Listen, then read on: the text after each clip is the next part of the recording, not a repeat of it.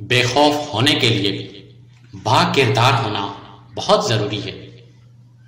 اگر رشتہ دل اور روح سے بنا ہو تو دل بھی بھرا نہیں کرتے۔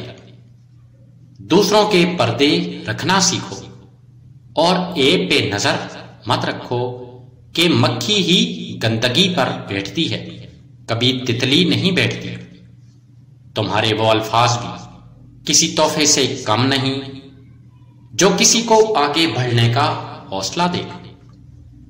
ہر انسان کی زندگی میں دو ہی منزلیں ہوتی ہیں۔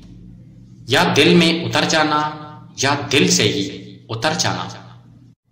اگر تم خوش مزاج ہو تو پوری دنیا مل کر بھی تمہاری اداسی کا پتہ نہیں لگا سکتی خود پہ غور کرو تو اندازہ ہوگا کہ رب نے تمہیں تمہاری طاقت سے زیادہ نہیں آزمایا۔ مگر لوگوں نے تمہیں تمہاری طاقت سے زیادہ آزمانے کی کوشش کی۔ تم مرد کا مقابلہ مت کیا کرو کہ ان کو ایک درجہ اوپر اللہ تعالی نے عطا کیا ہے کہ یہ تمہارے محافظ بن کر رہے ہیں تم حقیقت کو قبول کر کے دیکھو۔ تمہیں ہمدردی کی ضرورت نہیں ہوگی۔ بہت کچھ جان کر خاموش ہونا بھی۔ ایک سوچا سمجھا فیصلہ ہوتا ہے۔ یہ تربیت انسان کو روک لیتی ہے، ورنہ گستاخ لہجے میں بات کرنا ہر کسی کو آتا ہے۔ انسان کی کچھ اداسیاں اس قدر ذاتی ہوتی ہیں کہ وہ کسی کو شریک کرنا بھی گوارا نہیں کرتا۔ خدا حالات بدلنے پہ قادر ہے کہ آزمائش ہر وقت نہیں رہتی۔ ہر کسی کو ماضی کا دکھ نہیں ہوتا۔ دکھ یہ ہوتا ہے کہ اس نے بے قدرے لوگوں میں وقت ضائع کیا۔ ہم توجہ ہی نہیں دیتے کسی کی زندگی یا آہ کو۔ مگر تین بار اعلان غور سے لازمی سنتے ہیں۔ سکون تمہیں اپنے ہی اندر مل سکتا ہے۔ کہ دوسروں میں الجھن کے سوا کچھ بھی نہیں ہوتا۔ اس سے فرق نہیں ہوتا کہ آپ کتنے قیمتی ہیں، کتنے قابل اور اہم ہیں۔ اگر آپ کسی بے قدرے کے ہاتھ لگ گئے تو بیکار ہیں۔ اگر عورت اپنی نزاکت چھوڑ کر مضبوطی کو تھام لے تو اس جیسا پتھر کہیں نہیں۔ یہاں درد ہر کسی کے دل میں موجود ہے۔ بس کوئی لکھ رہا ہے تو کوئی پڑھ رہا ہے۔ کچھ لوگ ایسے بھی ہوتے ہیں کہ ان کی زندگی کا سورج نہیں ڈوبتا، بلکہ وہ خود ہی ڈوب رہے ہوتے ہیں۔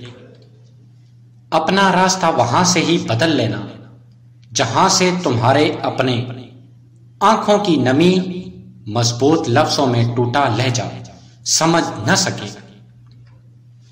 جو صرف لفظ پڑھنے والے ہوں، وہ کبھی بھی جذبات سے واقف نہیں ہوتے۔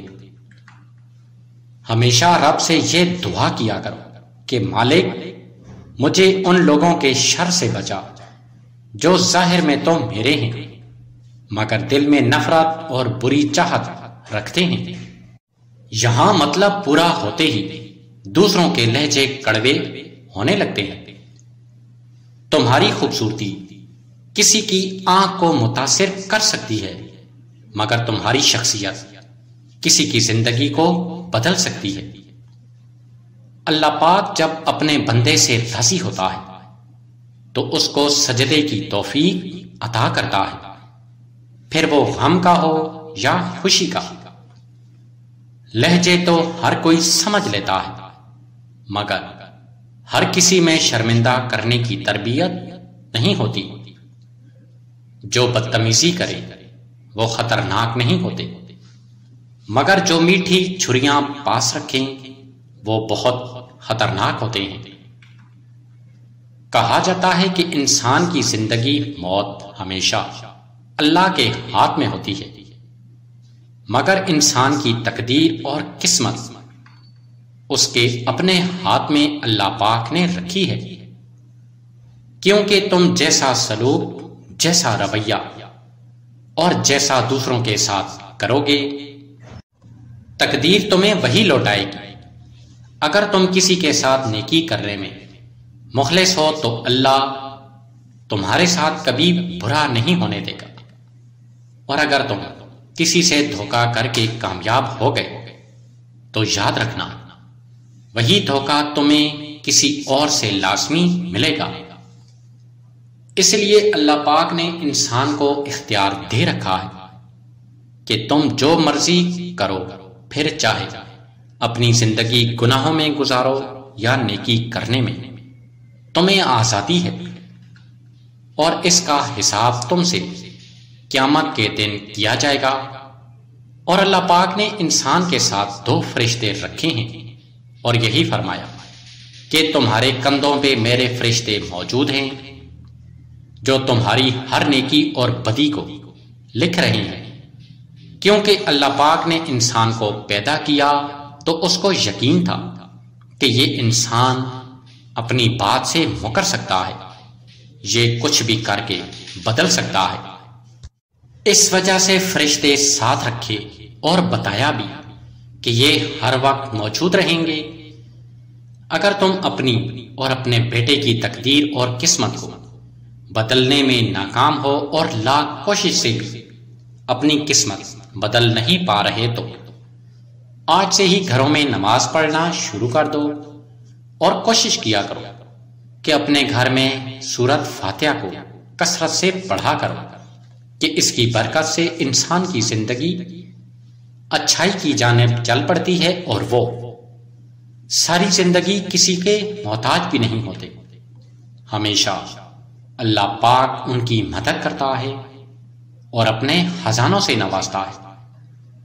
اللہ پاک سے ہمیشہ یہ دعا لازمی کیا کریں کہ وہ زندگی میں کسی اور کا محتاج نہ ہونے دے۔ ہمیشہ اپنی رحمت کا سایہ عطا کرے۔ اور کبھی برے لوگوں، برے کاموں میں نہ پڑنے دے ہمیشہ برائی سے محفوظ رکھے۔ آمین۔